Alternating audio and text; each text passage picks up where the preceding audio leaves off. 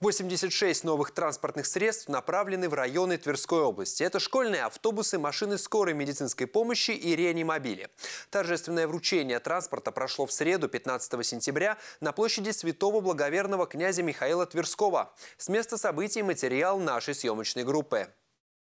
Вот этот новенький просторный автобус на 22 пассажирских места совсем скоро отправится в Бежецкий район. Транспортное средство будет передано средней школе номер 5 имени Льва Николаевича Гумилева. В образовательном учреждении обучается более 430 детей, и почти треть из них, около 130, ребята из окрестных сел и деревень, которых на учебу и обратно возит школьный транспорт. В школе имеется автобус но ему уже десятый год идет, то есть время подошло обновить. И поэтому мы очень обрадовались, когда узнали, что, собственно, вот поступил новый автобус. Безумно рады.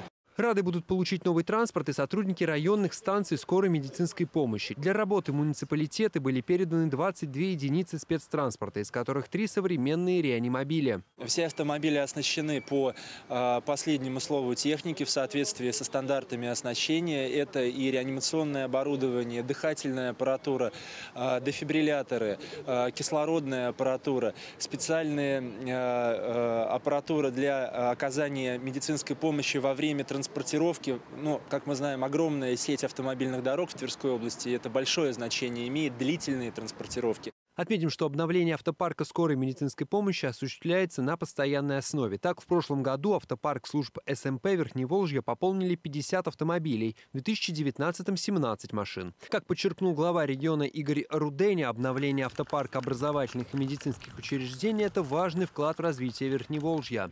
Наши коллеги сами, которые трудятся в системе образования, в том числе и водители школьных автобусов, и врачи, фельдшера, э, санитары, водители скорой помощи, когда получают новый автотранспорт, они себя чувствуют ну, уже более уверенно при выполнении своих задач. В общей сложности в муниципалитеты Верхневолжья поступило в этот день 86 новых транспортных средств. 64 новых школьных автобуса будут развозить на занятия учащихся 59 школ региона, а на станции скорой медицинской помощи поступят 22 автомобиля.